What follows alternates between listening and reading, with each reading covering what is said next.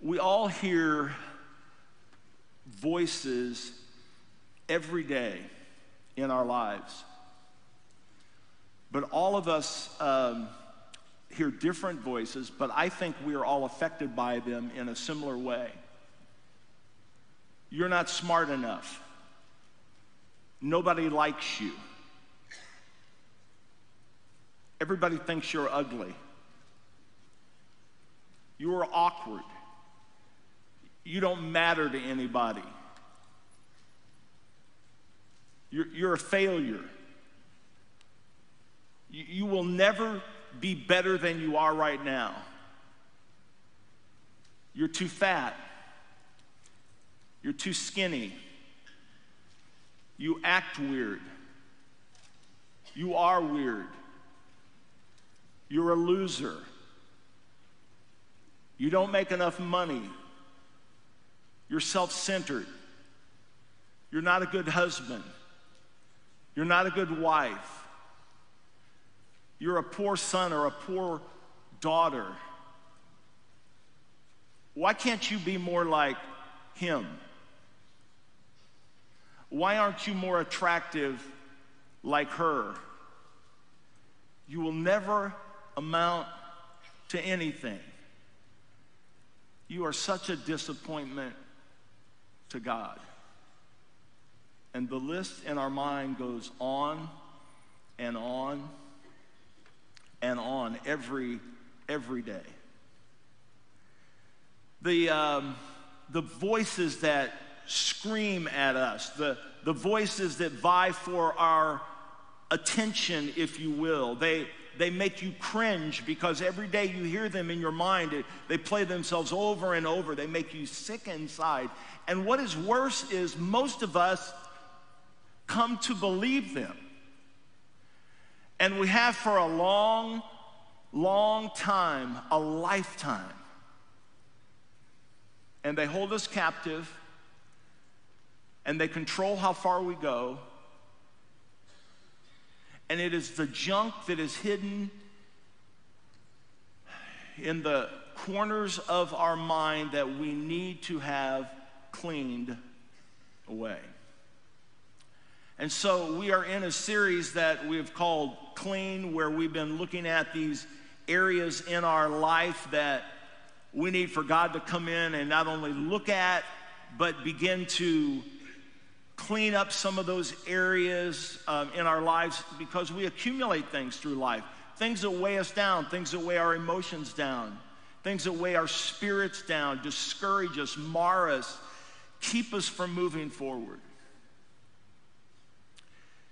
David in Psalm 51 7 said, God, will you purify me so that I can be clean? Wash me that I can be whiter than snow. And what David is doing is he's inviting the Holy Spirit to look deep within him so that the Holy Spirit can search him and clean him and renew him. And so, as I close this series out, Today, I want us to look at what God's Word has to say about our emotions.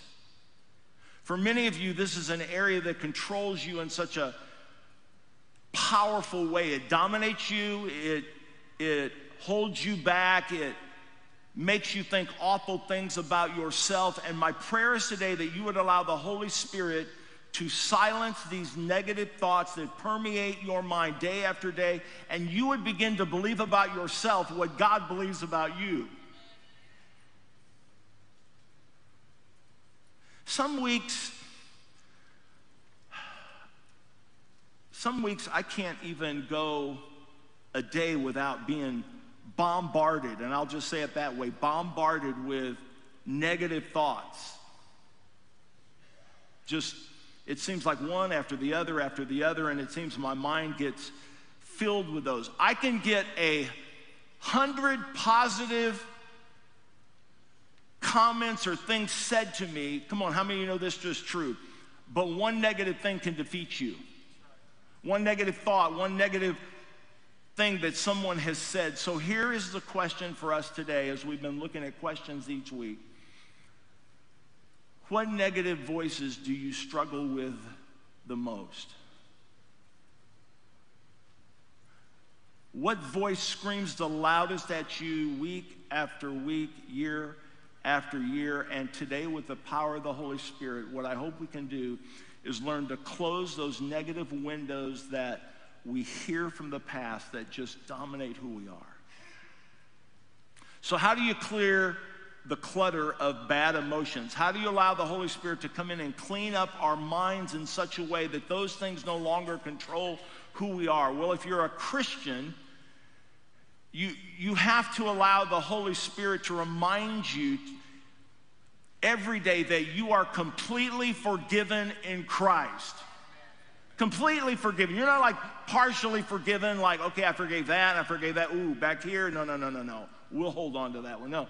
In, in, Christ, you are fully forgiven. Paul said in Second Corinthians, therefore, if any is in Christ, anybody has come into a relationship with Christ, anybody has received Christ into their life, you are a new creation. In other words, you're not what you used to be, you are something far better. You are not what you once were. The old, it's gone. the new has now come. Now, now we know that. Many of us have been around the church for a while. We know this scripture. We understand that what Paul is saying but oftentimes, we will, rather than listen to this, we will listen to the negative emotions and things that play over and over in our mind. And they will tell us that we don't matter, or we are not valuable, or we are not have value to God because of something that has happened to us in our past. Well, you need to know I, I didn't have the greatest past. My brother is here today. He could come up here and do some preaching, right? Um, I can remember some very ugly situations with me and my brother. Um, but I call those BC days before Christ. Because when Christ came in, he made me a new person. Now, I wasn't perfect when that happened. God's, God did a work on me. And, and I'm just telling you, God is still doing a work on me. But you need to know that in spite of who I was, God did not rule me out. He did not look down and go, oh man, look at all of that horrible stuff in Tim's past. I don't think, I, I think I can't, I don't think I can use him. He's like, I got to rule him out. No, no, no. A rebellious, hurt teenager bent on running as fast as I could from the church, from God, uh, rebelling against my parents. My life was a mess. I would consider what I would call myself a prodigal son that was still living at home. But you need to know and somebody, this is for somebody today. No one is ever too far gone, gone, for the power of God to change your life. He can change your life in a split second. Maybe you feel hopeless today that you've sunk too low for God to come and find you where you are and lift you up and change things in your life. You've made too many mistakes, too horrible, too many horrible things in your life, and you feel like there is no hope for you for God to ever change me. And you say things like, Oh, Pastor Tim, you just, you don't know what I've been through. I wasn't raised in church like most people. Those people have lived good, clean, moral lives all their life. They never messed up like I have. oh, come on, listen to me. You need to know that we are not here in this church because we are perfect. We are here because we have been forgiven. Without the forgiveness of Christ and the everlasting mercy of our Heavenly Father, we wouldn't have a chance.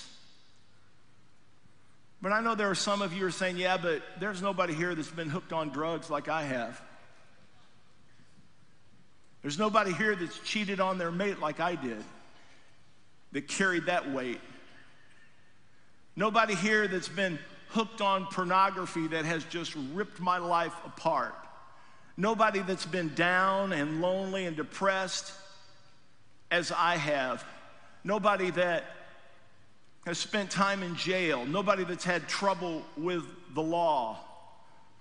Nobody who has stolen things like I did. No one who has been so low that they have thought often or even tried to commit suicide. Nobody like that here. And I would say to you, if that's what you're thinking, sure there is. All across this room. You may be sitting by them today and you didn't realize it. There are, are people all over this building and even watching online who were just like you. They were in those same situations. The only difference between you and them is that they have chosen to make Jesus Christ the Lord of their life. And when they did that, He changed their circumstances and He changed their life. And, he'll, he'll do the same for you. Well, Pastor, I don't know if that's true that all those people would be here today. Well, let me, let me prove it to you today. Now, some of you don't know me well, but I'm going to ask you today if you'll trust me today, and if, if you will, you will allow God to use you, your life, to bless and encourage someone else. So trust me. How many of you in this place have ever done drugs of any time? I'm talking any kind. I'm talking about like a time in your life before Christ, you were on cocaine or heroin or LSD, or you smoked pot, or you were addicted to another drug, maybe pills, but, but that was you. How many of you have ever been addicted to alcohol. In other words, it had an effect on you in some way that it controlled you. You had to have like that next drink. You, you drank a lot. How many of you have ever been arrested for something? Or have spent time in jail? Or have spent time in prison? How many of you ever stole something? You took something, it wasn't yours, you knew it was wrong, you took it, maybe you lied to get it, or you deceived a spouse, or you deceived a friend. How many of you ever messed up a marriage? I mean, I'm not talking about, well, it was their fault and therefore the marriage. No, no, no. I'm saying it was your fault. You know it was your fault, and you take responsibility for it being your fault. You messed up. You had an affair. You, you abused your spouse or something like that. How many of you ever been so depressed or discouraged that you thought about or actually tried to commit suicide? You, you were going to take your own life. Things were so desperate that you tried to even, or you thought about seriously taking your own life. You thought if I could just end this, everything would be better. How many of you have ever been abusive to a spouse, abusive to a parent? abusive to a child and it damaged your relationships? How many of you have ever been addicted to pornography and it affected and it ruined relationships in your life and you just got sucked into that and you saw the awful, horrible consequences of it in your own life? It's okay, take a breath.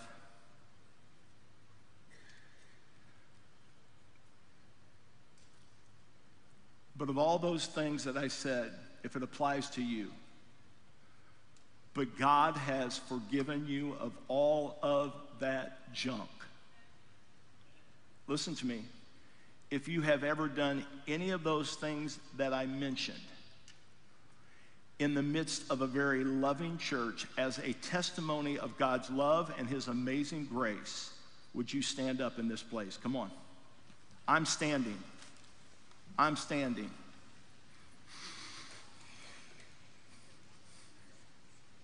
Come on, all over this place. God forgave me. This is who I used to be. But God forgave me and He saved me and He changed my life and He turned me around. Come on, stay standing for just a minute. You know, the Bible says when, uh, when God forgives you from much, He will love you with much. He will pour out his love on you over and over again. Stay standing. Listen, I look across this place. No wonder when we come into this place on Sunday, there is such enthusiastic worship. No, no wonder our worship is so awesome and people with their hands lifted for his great love that crosses over to where we used to be. And he redeems us and he forgives us and he loves us. Come on, give God praise for what he's done in your life today. Come on. Oh, thank you for standing. You may be seated. Wow. See, there is no emotional bondage so strong for the power of God to break it because all of it has to bow. Every addiction, every struggle, every sin, all of it has to bow in the name of Jesus, no matter what your sin is or what your failure was. Jesus trumps everything in your life that has happened. Now, the psalmist, the psalmist said in Psalm 40, this is how he describes. This is like his testimony. Come on, anybody in this place got a testimony? If you stood, you should. The psalmist said, by the way, the psalmist David, he'd have been the first one standing today. He said, He lifted me out of the pit of despair, out of the mud and the mire, and He set my feet on solid ground, and He steadied me as I walked along. Oh, but watch, He doesn't stop there. Watch what He says next. He put a new song in my mouth, a song of praise to our God. Listen to me. You are not with Christ, you are not what you used to be. You are now a new song. You have a new reason to sing. You have a new reason to have joy. You have a new purpose. You have a new life before you. And here is the, here is the problem for many of you Many of us, even though Christ has forgiven you, you have not forgiven yourself. And you're, you're not singing the new song, you're singing the old song of who you used to be the condemnation, the doubt, the guilt you have some things in your past that have caused you pain. You have some things in your past that have caused others pain, and it brought shame on you, and you feel that shame every day. And you listen to the voices that we talked about early on that say, You are worthless, you are a failure, you cause pain, you hurt people, you don't deserve forgiveness. And you ask Christ to forgive you, and He has. Maybe you even asked others to forgive you, and they have. But you have never forgiven yourself.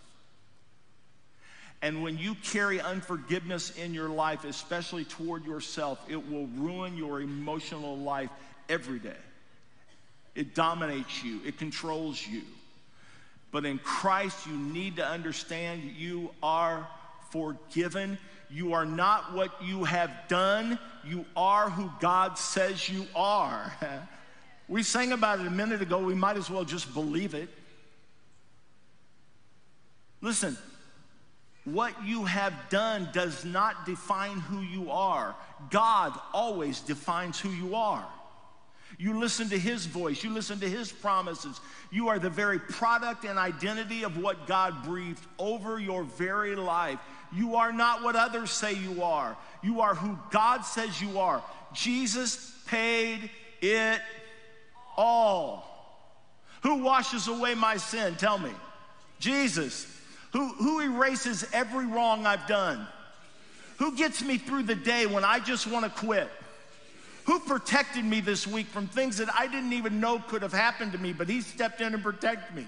Jesus. Who sees worth in me? Who sees good in me? Who sees value in me? Who sees purpose in my life? Well, Jesus does.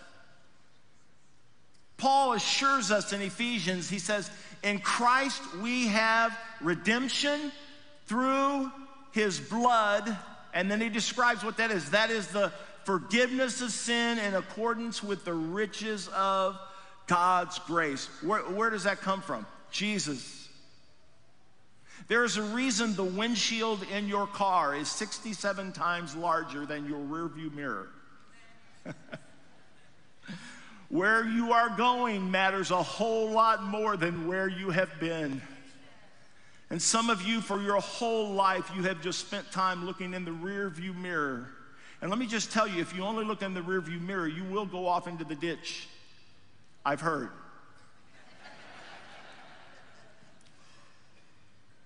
That's why Paul said in Philippians 3:14, I have to forget my past. I have to strain forward. See, strain, I have to, every day I have to push forward. It's not easy. I, I get, I hear these voices, but I have to push ahead, move forward.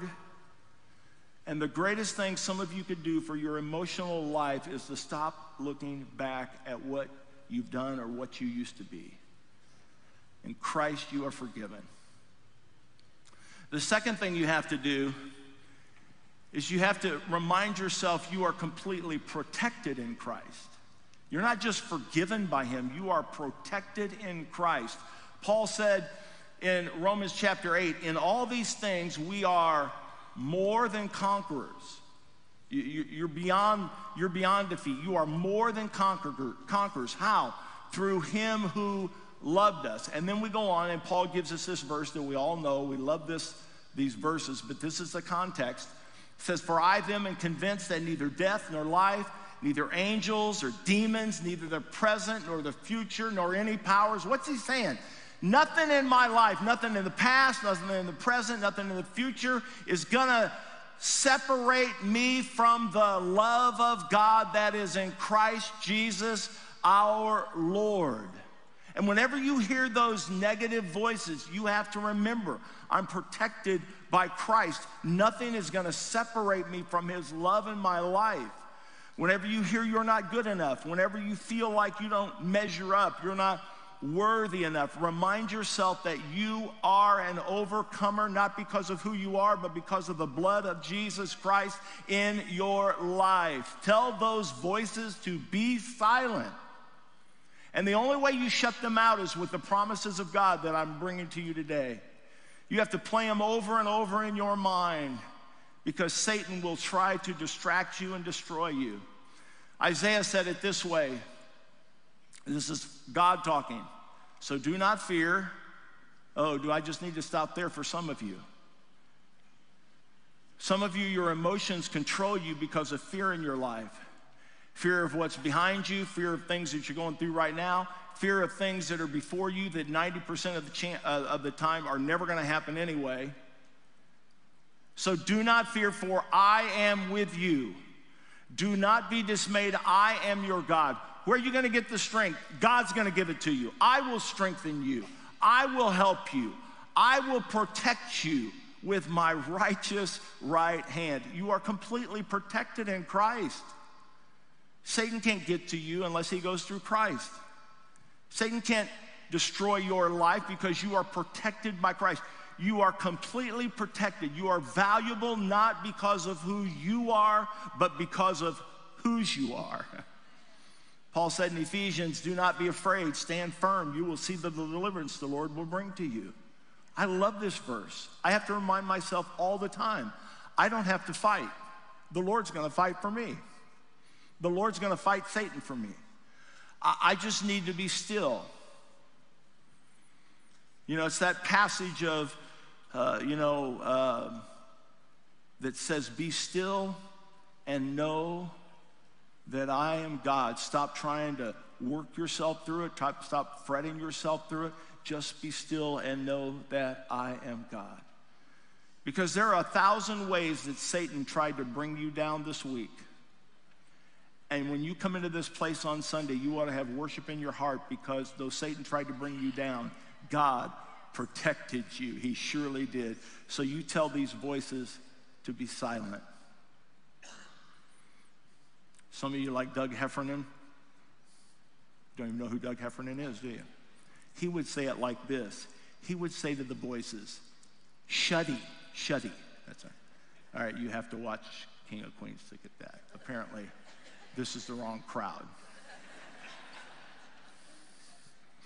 And then you have to, let me, let me close it out. Then you have to constantly remind yourself that you are completely free in Christ Free from what? Free from everything that's in your past. Free from every mistake you ever made. Free from every failure, every hurt that you caused, every addiction that you had. You are free from all of that in Christ. John, uh, in, in, in John, Jesus said, So if the Son sets you free, you are free indeed. You're not enslaved any longer. You can be free from addictions. You can be free from negative thinking. You can be free from a life of sin. You can be free from anger in your spirit. You can be free from the hurts of the past. You can be free from those voices that we talked about at the beginning that haunt you day after day. You can be free from negative words that you hear, uh, that people said about you. You are completely free in Christ. Paul said, There is now no, oh, some of you need this. There is now no condemnation for you. He's not looking down at you, disappointed in you, finding fault with you. He, when he looks at you, here, listen, when he looks at you, he has to look through Jesus to get to you. And all he sees is Jesus in you. Oh, you didn't get that, did you? He's not looking at who you used to be, he is looking at Christ that is living in you. Um, you read through the Old Testament, you read through some of the patriarchs. Um, one of those was Joseph in the Bible. Joseph, you know the story. He was sold into slavery by his brothers. They hated him. My brother never sold me. He thought about it a few times, but he never sold me.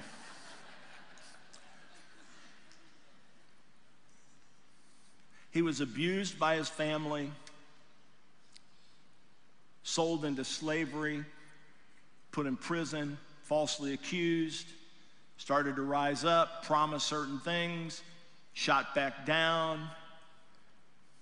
Eventually, he would rise to second in command in the entire land. But if you read the story of Joseph, you will find that he is still held captive by the emotions of his past, the injustices that happened to him, the pain that he had to endure. And one day he finds himself in the story, he, um, because there's a famine in the land, you know the story, and um, uh, Joseph was put in charge of all of the, the food, and so his brothers are coming. They don't know who he is. They don't realize, they think he's dead. So they're coming to him. The people that caused his pain are now coming to him for life, for food.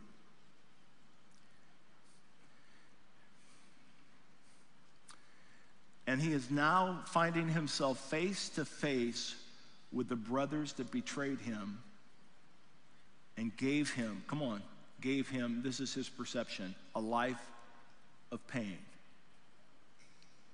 And in Genesis chapter 45, verses, the first two or three verses, you get a little snapshot, a, a, window of the pain that Joseph is going through and probably had gone through for years. And maybe some of you can relate to this.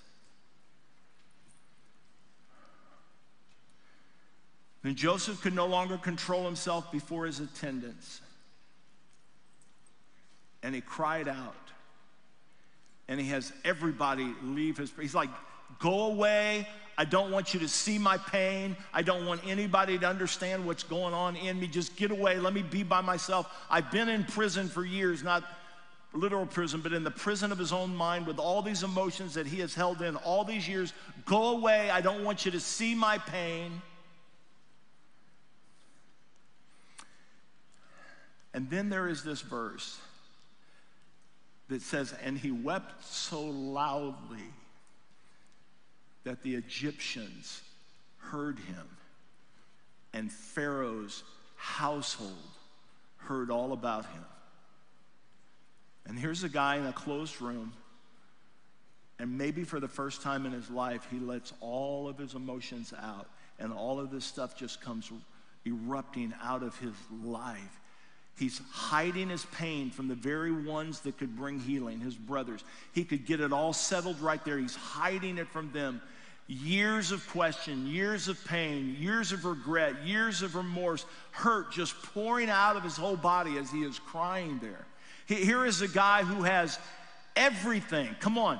Some of you think if I could just achieve more, I'd get over my emotional struggles and battles. If I could prove to somebody I'm really a somebody. No, no, no, no. You, you, he is imprisoned by his emotions, though he is second in command, has everything. Maybe blaming himself, but in that moment, it all comes gushing out. And here's what I will tell you you can hold on to your emotions all you want, and you can blame people all you want, and you can have, there will come a time and it will come gushing out. And if you don't deal with it in a healthy way, when it comes gushing out, it could hurt those around you that you love the most.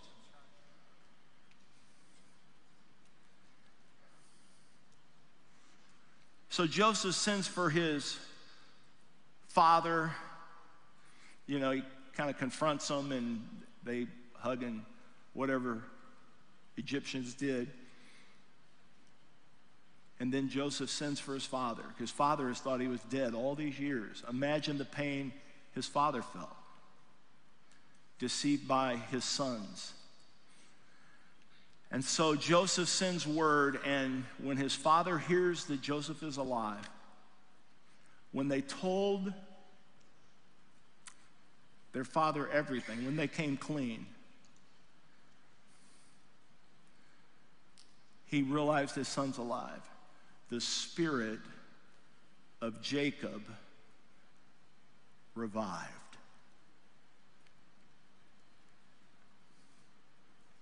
Many of us carry deep pain today.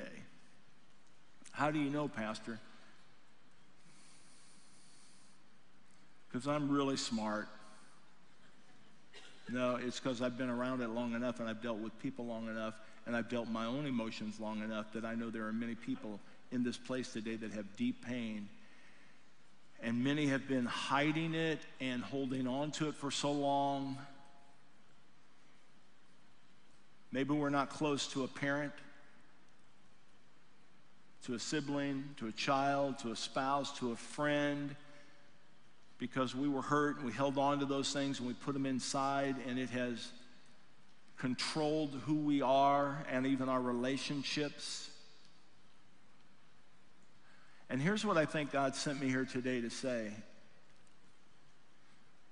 If we dealt with those things face to face with the issues and we let them come out today, it would release the pain of the past and your spirit, your life could be revived again.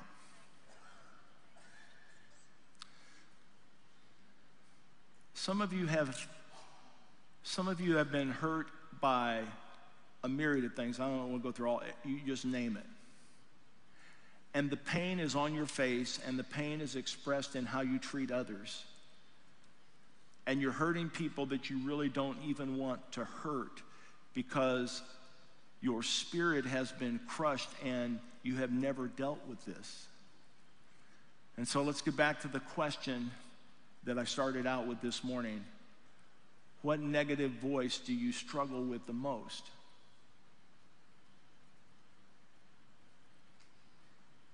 For some of you, it is just time, isn't it?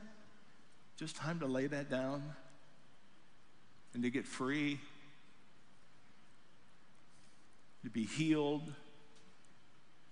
because you are not what others say you are. You are what Christ says you are, what He gave His life to make you, and you can't do this on your own. I know you're not strong enough, smart enough, wealthy enough. But Jesus said, With me, all things are possible. With me, if you get close to me, it's possible. If you lean on me, it's possible. And if you want to get free from emotional bondage, you have to start every day learning to lean on Him.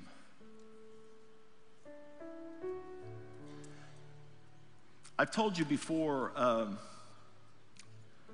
when my brother and I were younger, we had a grandmother, and uh, she was an invalid, uh, confined to a wheelchair our grandfather passed away, and then she lived with us for uh, until she died.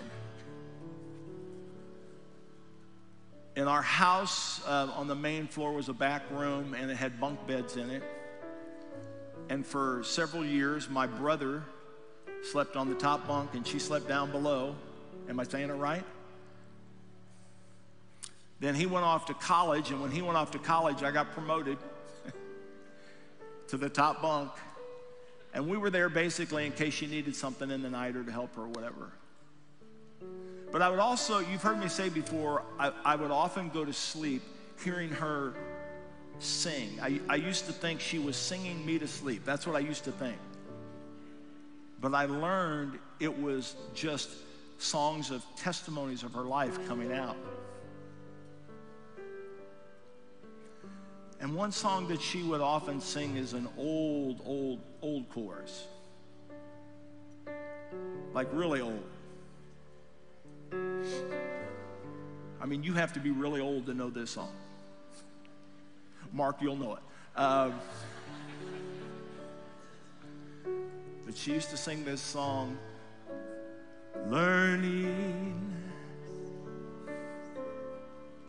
to Lean learning to lean. I'm learning to lean on Jesus. Hmm. Here it is. Finding more power than I ever dreamed. I'm learning to lean on Jesus.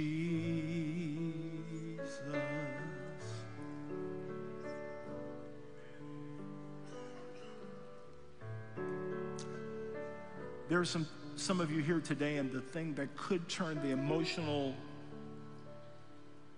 situation in your life around is if you would simply learn every day not to rely on your own understanding, not to rely on the things that are going through your mind, not to believe the words you're hearing about yourself, not to believe all of the voices, but to, in spite of whatever I'm going through or whatever I'm facing, learning to push in and lean on Jesus. And I want us maybe to turn some things around today for some of you. I want us to sing this old song that has a powerful but relevant truth that as I lean on Jesus, I find his power and sustenance to help me in whatever I have been through and whatever I am going through. And so I want to invite you to stand with me. Maybe you'd like to come and pray this morning, like so many do each week. Do you have an area of your life that you just need to lean on Him in right now? I don't understand this. I, am going through this. I, I don't know what to do. It's just, I don't know what to do, but I need to lean on Him because it's as Peter said, cast all your cares on Him because He cares for you. What is Peter saying? You can lean on Him. Pastor, I've been leaning. It's okay lean harder. Did you know you can put all of your weight on Him? Maybe you're lonely. Maybe your spouse is gone, and at times your loneliness is overwhelming. And you just say, I'm leaning on you today, Jesus. You're all I have. And you'll find He's quite enough. Maybe your emotional cup is full and you just want to maybe come and uh, I love the symbolism of the altars because it's like I can bring stuff and symbolically lay it down. Like, here's my burden, Lord. There it is. You, you said come, so I'm coming. Here it is. I lay it down. And as you get up, leave it there and then be reminded that Jesus is going with you this week and you can lean on him. Some of you, oh wow, some of you have a life of sin that is so heavy Sin's, can I tell you, sin is always heavy. And you can bring your sin and lay it down, as so many did last week. and lean on Jesus. Oh, here's one I'm a little more sensitive to these days. Some of you may have a health issue. Come on, where are my health issue people? Oh, yeah, I love you. And it weighs heavy on your heart. You can come and lay that down too. In fact, uh, James says you can get anointed um, and, and, and get healing that can come from that as you cast that down, lay that health concern down. That never, uh, well, let me say, uh, let me be careful how I say this. A lot of times, come on, a lot of times we quote scripture and we think we understand scripture or what the scripture is saying, but we really don't understand it until we've gone through it. So, you know, I preached a lot about, oh, you, know, you got Christ in your life. You can, he'll go with you all the grave. You can have peace when you're ready to meet him. well, that became real for me when I was wheeled into that operating room and the doctor said, if we, you could die. But I am telling you, as sure as I'm standing here, there was such a peace. I was like, oh man, I'd miss Vicky. but I get to see Jesus. See, you can walk, you can lean on him enough and walk so closely to him that even in moments that all the world would fear, you embrace it. Oh, I love it. Okay, this, hang on, we're getting there. One of our nurses came last Sunday who was on the floor when Willie Miller uh, passed away about a year and a half or so ago. And you remember me telling the story. I, he was on death's door. They told me he had a day or two to live, and I walked in the room, and, and here was his expression when I walked in the room Preacher, I'm going home. And I thought, that is the strangest thing because they told me you're, you're going home. Like they're going to dismiss you today. He goes, No, preacher, I'm going home. Now, I knew you knew that story, so I've told that. That's a great one. I've still got his picture. It's, I'll cherish it forever. We did our last selfie together. Here's, here's what I want to tell you. Last week, a nurse came up to me and said, What you don't know is that he had such an influence at the end of his life the peace, the joy that the head nurse had gotten away from the Lord. And when she saw his life and when he passed away, she said, I am getting back to the Lord. And she has gotten saved and she is back in church every Sunday. Praise be to God. See, even in death, his when you lean on him, there is a peace that goes beyond our ability to understand. I don't know what battle you're facing, but I would invite you, just as we sing this chorus, as we pray, if you'd like to come and pray about something or lay something down, hey, some of you could really lean on him today. This is your moment. Let's sing this song. Jesus.